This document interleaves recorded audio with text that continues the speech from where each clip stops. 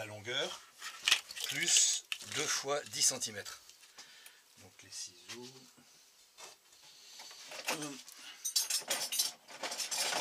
Là, elle doit être un petit peu plus longue, hein, la baguette. hein, euh, C'est- possible. oui, tu- tu vas enlever les deux chutes pour faire les, les transverses? Non, non, Ah les tu les as déjà là? Non, je les ai déjà. Voilà. Voilà. D'accord. Donc, la, la première étape, c'est bien sûr comme pour le cerf-volant, on va donc préparer les, les scotch Mm. hein, euh, sur le papier sulfurisé, hein, ça tu, tu sais faire. Voilà, hop, deux longueurs de scotch comme ceci. Voilà.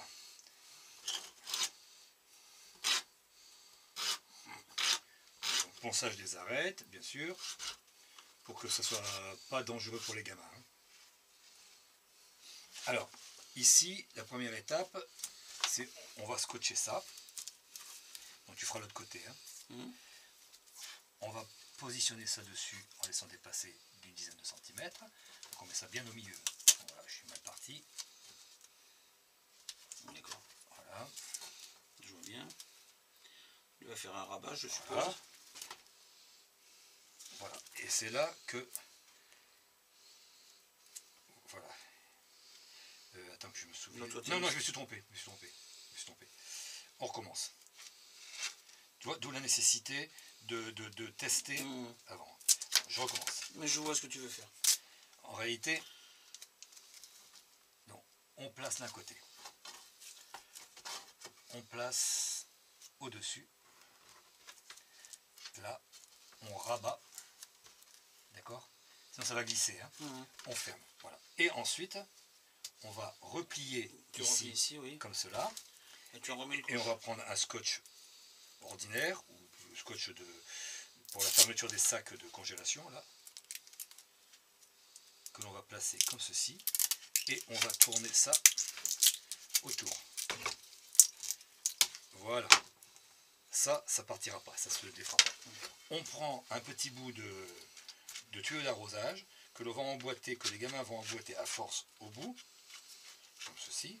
Si on n'y arrive pas, ben, on prend tout seul. Mhm. Donc ça, ça a une double fonction. D'abord, ça bloque bien. Et ensuite, si les gamins ils jouent avec ça Mhm. et qu'ils se prennent ça dans la figure, au moins ils se blesseront pas. Hein Il y a toujours ce côté sécurité qui est important. Donc toi maintenant, tu vas me faire exactement la même démarche de l'autre côté, en sachant que là, on tend. Voilà, c'est-à-dire que tu tends bien. Donc, il faut, faut pas hésiter. Hein. Bon, pas, pas jusqu'à la rupture. hein. Qu'après, tu vas le retendre après par. Ah, voilà, par en dessous. hein. Donc Mhm. ça, tu le, bien sûr, il faut bien le mettre à plat. Mhm. hein. Tu le tends bien. Tu vas prendre ton bout de scotch, tu vas le mettre autour. Tu fais ton rabat. Et, problème. et- et par contre, là, tu vas, tu vas le mettre un petit peu plus loin. Mhm. puisque ça, ça va être emboîté. C'est la poignée. La poignée qui va être emboîtée en tapotant jusqu'au bout. voilà.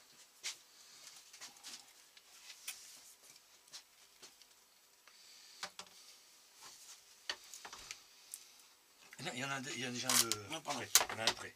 hein.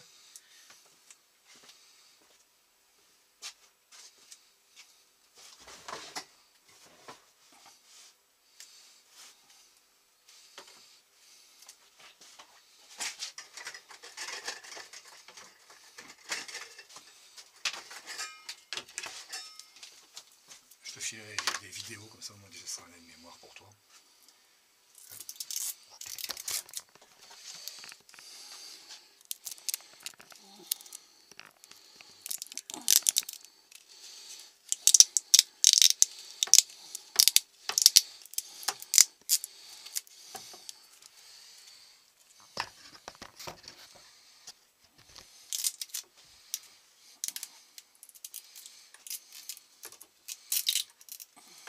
Le 3 tours c'est suffisant. hein, après tu tires dessus pour le casser.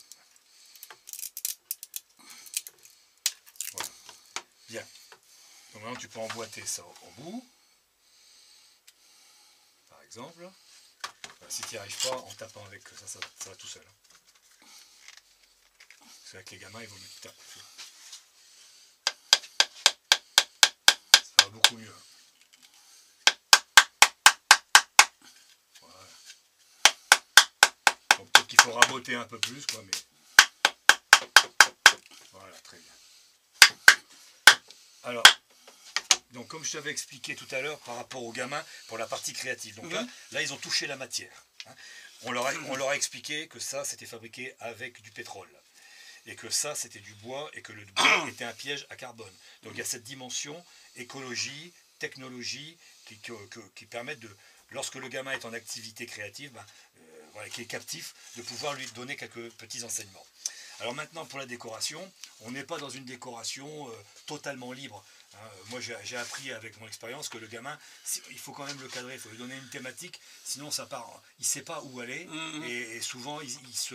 Il se histoire de, langage... Euh. Alors, je leur dis comme ça, ça va être un peu l'épée euh, de Star Wars, eh bien, cette épée-là, elle, elle va être décorée par des symboles qui sont plutôt des symboles de l'espace. Donc on va dire, ça va être un prétexte pour dire au gamin, eh ben, écoute, on va essayer de mettre que des symboles qui sont des symboles géométriques, hein, géométriques ou mathématiques. Alors dans les mathématiques, eh bien, alors, on peut lui faire l'exemple là, euh, par, le geste.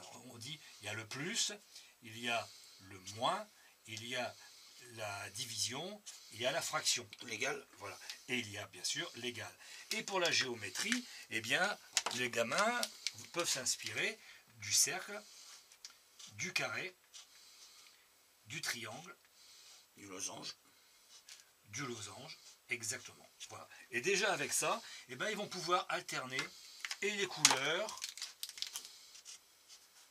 Voilà. Le double slash oui, aussi Ah oui, oui, ça, ils peuvent aussi utiliser les chiffres, hein, qui restent aussi une base mathématique. Hein. Voilà. Et à partir de là, eh bien, les, enfants vont bien sûr s'exprimer librement. Là, il y a une totale liberté, mais une liberté cadrée. Et en plus, ça leur fait faire un petit travail sur les mathématiques. Donc, il y a un côté pédagogique qui est bien reçu aussi dans l'activité avec des enseignants ou des activités périscolaires, etc. Donc voilà à quoi va ressembler la décoration faite par le gamin. Bon, maintenant on va terminer ça ici. Donc je vais te faire sur un côté et tu pourras terminer l'autre face. Donc l'enfant va soulever ça légèrement, mhm. il va positionner ça pour l'instant, on ne tend pas, hein. on met simplement ça comme ceci. On va aller chercher une chambre à air. Voilà. Non, celle-là, elle n'est pas bonne.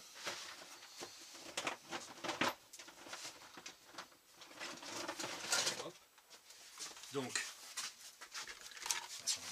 donc l'utilisation ici de la récup, hein, bien sûr, c'est le côté qu'on peut aborder avec les enfants, c'est le côté récupération. Voilà, on va découper deux anneaux de chambre à air que le gamin va pouvoir disposer comme ceci.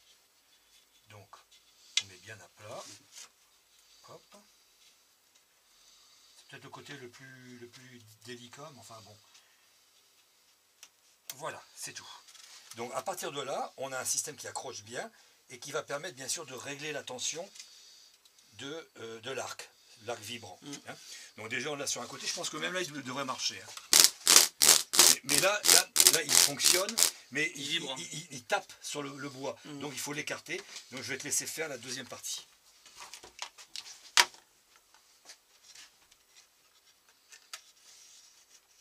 Voilà. Élastique.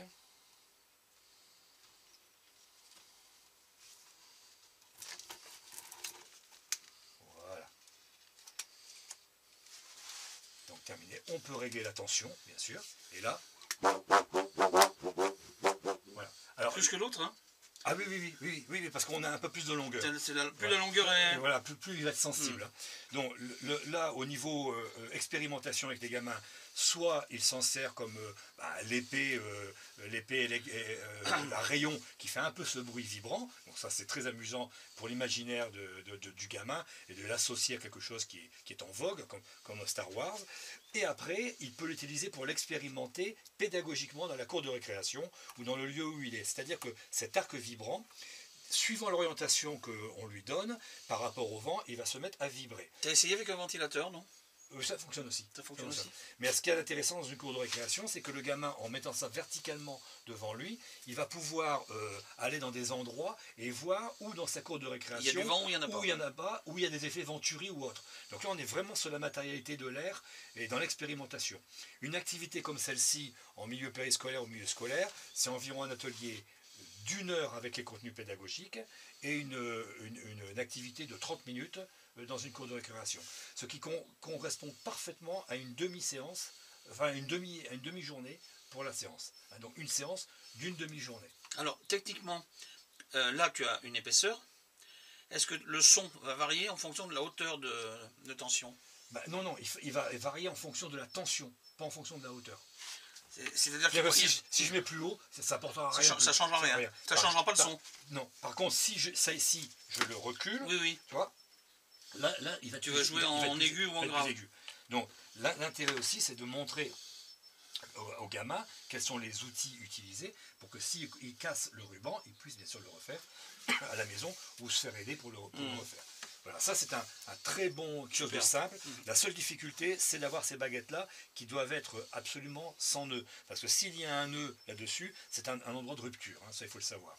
Donc moi, je fais ça en récupérant dans des boîtes charpentes qui sont souvent jetées. Donc euh, je me mets d'accord avec un charpentier. Je récupère des, morceaux de 1 mètre. Je les passe à la scie circulaire et avec une petite raboteuse de bricoleur. Et euh, en gros, en une matinée, je fais l'équivalent de 200 baguettes qui vont me permettre de faire une activité avec euh, à peu près 7 ou 8 classes.